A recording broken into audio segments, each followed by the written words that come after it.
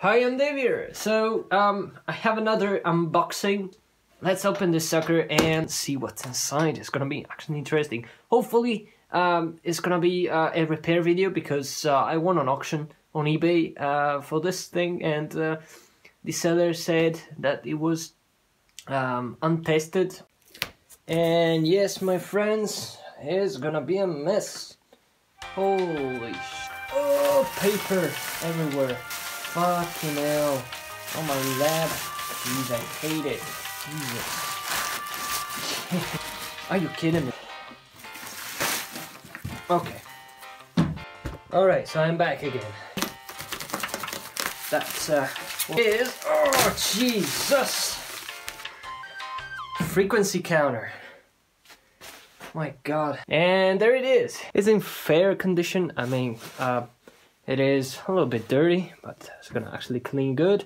This thing is a 100 megahertz um, frequency counter, universal counter.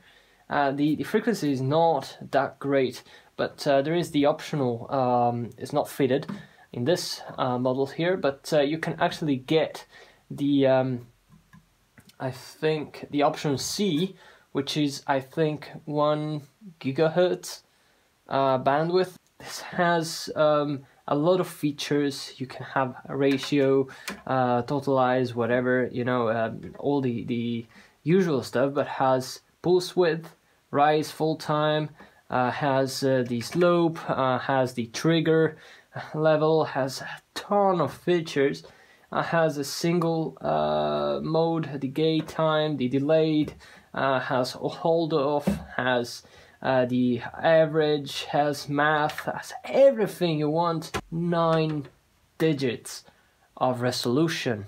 Not accuracy, not precision, but resolution. Nine digits.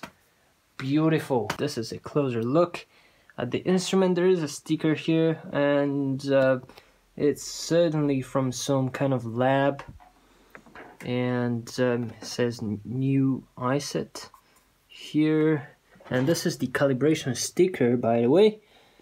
And uh, by down by Nemco. Uh, here in Italy. Um, so yeah 2002 has all the uh, calibration void stickers. And on the back we have Hewlett Packard. This is the serial number here. Fuse line and uh, I'm gonna actually check the fuse first and those are the uh, line selection switches. Uh, you can actually see the input C is not present, so because you can actually see the internal and external um, reference right there. So there is the reference out now. That's the um, um, HPIB, which I, you know, I, I'm not gonna use it because I don't have any computer that accepts um, HPIB. I don't have a an adapter for it, but it's good to have. Let's see here. Oh, that's a uh, you know normal uh, slow blow fuse, and that's that seems good. Now I switched on, and you can see a standby lamp.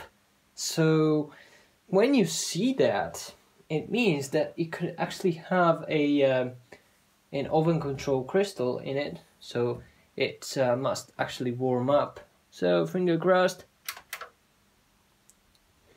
And the display is good. it passes the self-test. And geez, do I have a working unit? Apparently, this thing just uh, just works.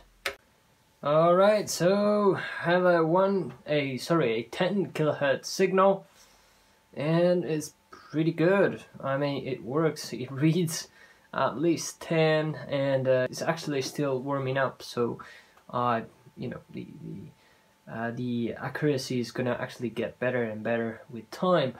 So let's go to channel B. Go to channel B right there frequency B. And yep it works. And just for reference I just brought up a um, my old universal counter and this is gonna actually substitute this one I'm gonna sell this one and I actually sold already sold it and have to ship it. But uh, first, uh, actually um, watching at the um, uh, frequency um, standard output from this thing here, and as you can see, it's pretty pretty good. Even it's um, you know yeah still warm, still actually warming up. So have to you know it's not fair. so have to let it uh, sit uh, for you know a good uh, half an hour or so. Man that's pretty good. So let's tear this thing apart shall we? Calibration void. And we are in. There's nothing inside. Expected something more and here we go. This is the um, inside. Uh, you can actually see it's uh, uh, you know I expected some kind of modular construction or whatever. Uh, and it actually is because you can actually see some connectors here some edge connectors. But you know it's a huge uh, single board uh, for the whole instrument. You have a huge section here which is unpopulated. And I think that um, they share the same board between the um, uh, the HP um, 5334A and B. Uh, the A model uh, has some more advanced features like uh, you know the um, a storage options and, and stuff like that has more advanced kind of things and um, you can actually see here the option C the optional C input with increased bandwidth is actually missing. Uh, there's another connector right there which is unpopulated. So here it is. This is the actual crystal.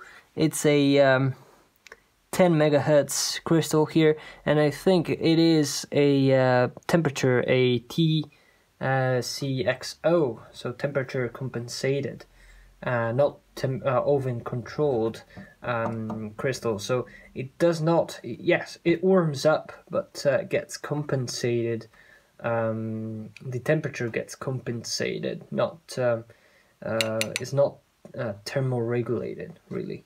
As far as the power supply goes, boring stuff. We do have the regulators um, all back here. We do have some test points right there so we can actually test those and uh, see if they are okay. I expect everything to be to be good. I mean, I don't. It's perfectly working. So, yeah.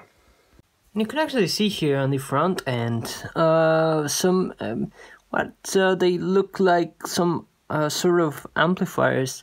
Uh, model um, MWA0204W some Motorola uh, components, but um, I have no idea uh, because I I tried googling the part number, but uh, nothing really appears. And here in front end we have some a bunch of relays here and uh, some trimmers. Interestingly, some um, basic uh, operational amplifiers. We have some 74 uh, series logic here by the looks of it.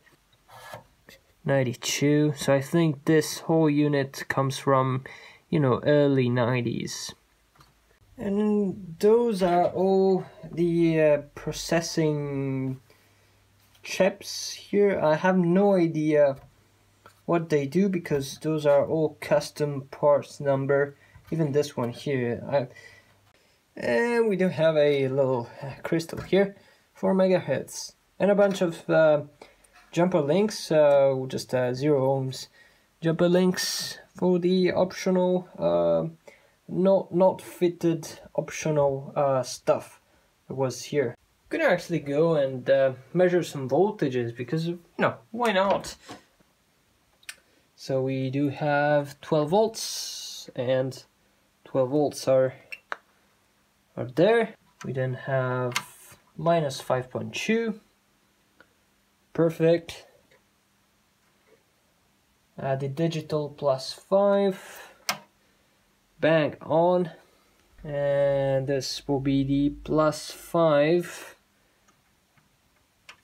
and a 2. Um, 2.5 there we go. Perfect.